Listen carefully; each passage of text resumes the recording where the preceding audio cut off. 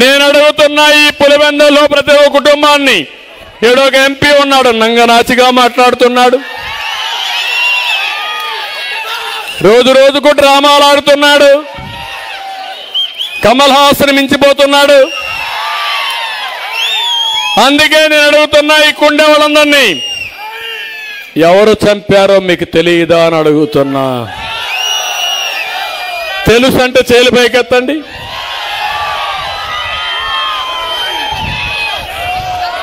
ఏం తమ్ముళ్ళు? ధర్మాన్ని కాపాడితే ధర్మం మనల్ని కాపాడుతుంది. ఆ ధర్మాన్ని కాపాడలేని రోజున అధర్మంలో మనమందరం కూడా ఆహుతి అయిపోతాం అదే ఈ పులిబెందల్లో ఉంది ఈరోజు. అందుకే నేను అడుగుతున్నా మిమ్మల్ని అందరినీ రేపు జరిగే ఎన్నికల్లో మీ శక్తి ఏంటో నిరూపిస్తారా అని మిమ్మల్ని అడుగుతున్నా. మాట్లాడితే మాట తప్పనంటాడు ఈ ముఖ్యమంత్రి. విశ్వసనీయత అంటాడు ఈ ముఖ్యమంత్రి. నేను అడుగుతున్నా నీ విశ్వసనీయత ఎక్కడని అడుగుతున్నా.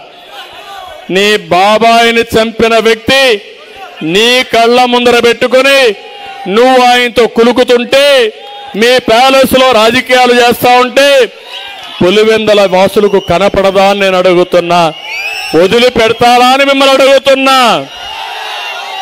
ఇంకొక పక్కన పాపం షర్మిల ఆడబిడ్డ ఎన్నికల ముందు మీరు చూశారు.